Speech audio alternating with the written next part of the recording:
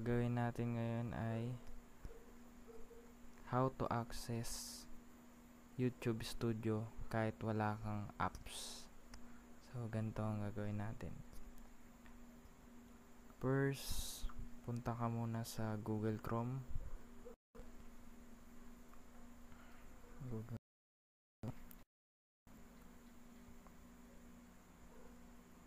And then, search mo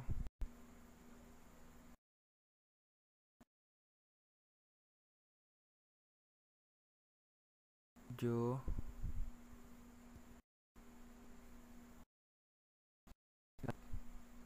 youtube.com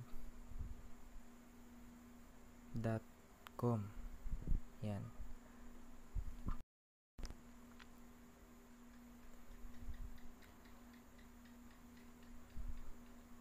Pag sinearch nyo siya hmm, wait lang guys medyo mahina ang internet natin eh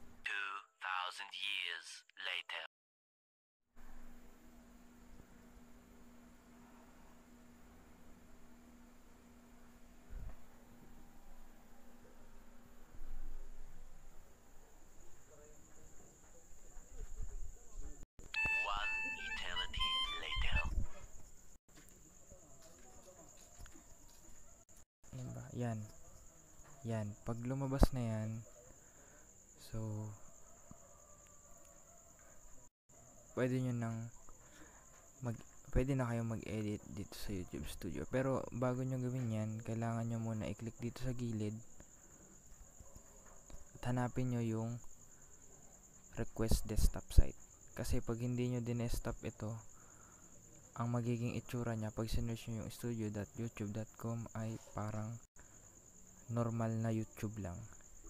Hindi ka makakapag-edit, hindi mo makikita yung views mo, hindi mo makikita yung mga subscribers mo, at yung rate mo kung gaano na kadami yung mga nanonood sa'yo.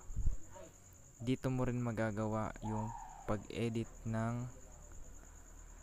mga profile pic mo, background, yung thumbnails, lahat dito ma-access.